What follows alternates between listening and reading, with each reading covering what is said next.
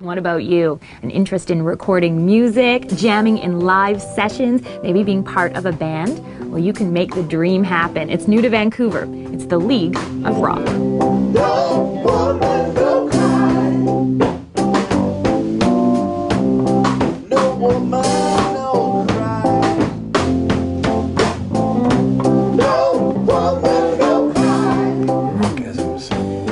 isms, yeah. What is it about Vancouver? Were we not um, hardcore enough, not rock and roll enough? No, no. You know, the the, uh, the thinking, you know, back home is that is that Vancouver is a, is a, a far more creative town than, than, Toronto. So I was looking forward to you know to sort of you know, unearthing those adults who are you know stuck in the basement playing their instruments alone.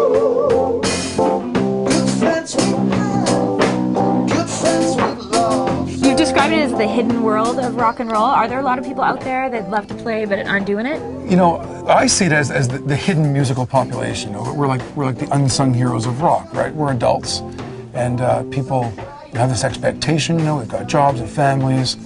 So I thought that I would turn on its ear, right, and give us, you know, our Wednesday nights back. You know, we're allowed to dust off those drumsticks and and play like we did when we were 19, right? So the League of Rock is really designed uh, for that, right?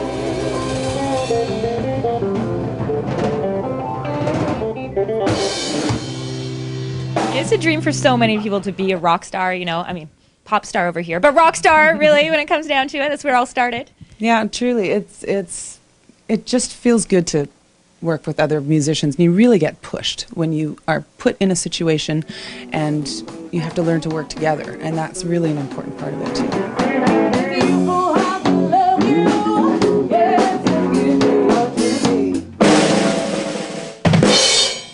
Marc, how long have you been playing for? Oh, I've been playing for about 40 years, I guess. Really? Yeah, a long time, yeah. And what do you think of the jab sessions, the join a band? I think it's a great idea, a great concept. I think it's, uh, you know, definitely the way to go if you're a player that hasn't played in a while and, you know, you get an opportunity to come and jam with uh, fellow musos. Musos? Oh, I like that. I, I get some lingo here, too. Don, I feel like such a groupie today, and this is the place to do it. It's a pretty cool studio. Oh, it's awesome here. Yeah, we, we like it a lot. It's a, it is a world-class studio. Uh, it's, it's Garth Richardson's uh, studio that has been turned into a recording school. So we still do commercial work here, and of course we teach students how to be uh, engineers, producers, and rock stars. Pretty inspiring too with all those um, gold albums on the wall. Absolutely, there's a lot of them. Yeah, yeah Garth's produced Rage Against the Machine and uh, Chili Peppers and a long list of things. The uh, League of Rock guys get to come in for a session. They, they pick a song, then they track it, they record the basic parts, they do some overdubs, uh, vocals, then they mix it, and it's all done with world-class gear with world-class engineers, and, and it'll sound great, and they have a blast doing it.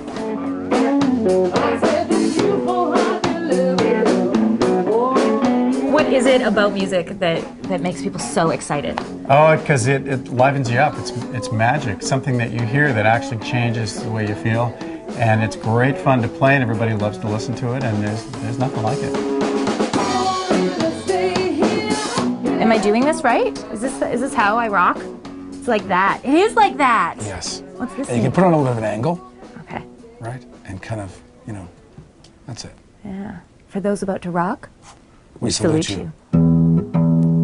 Hey, we've all got to start somewhere, don't we? The first Vancouver League of Rock session starts on July 22nd, and that's also the date of the launch party at the Yale.